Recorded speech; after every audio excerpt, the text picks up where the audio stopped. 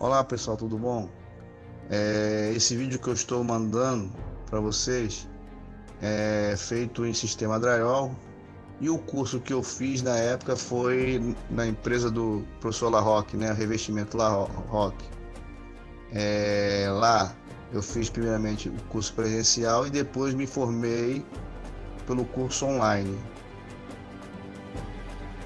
Eu tinha a profissão de vigilante e na época eu saí dessa profissão porque eu queria é, trabalhar por conta própria e fazendo esse curso onde abriu as, muitas portas para mim.